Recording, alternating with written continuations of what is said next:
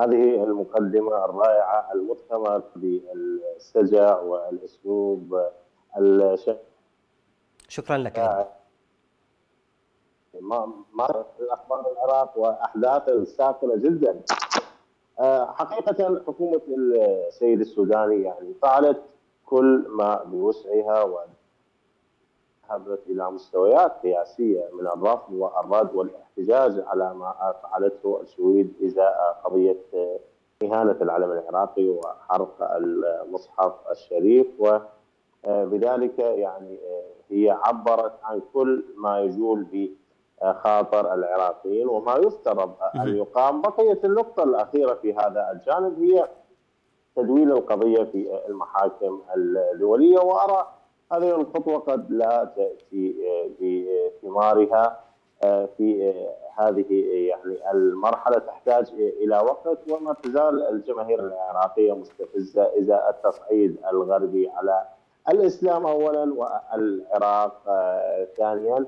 أعتقد أن المواقف الشعبية والسياسية يجب أن لا تقفز على مواقف الدولة والحكومة وما فعلته الحكومة يعني من طرد السفيرة، استدعاء القائم بالأعمال العراقي، اتخاذ يعني خطوات وبيانات ترفض هذا الجانب أو ما فعله سلوان موميكا وكذلك ما فعله المواطن الدنماركي.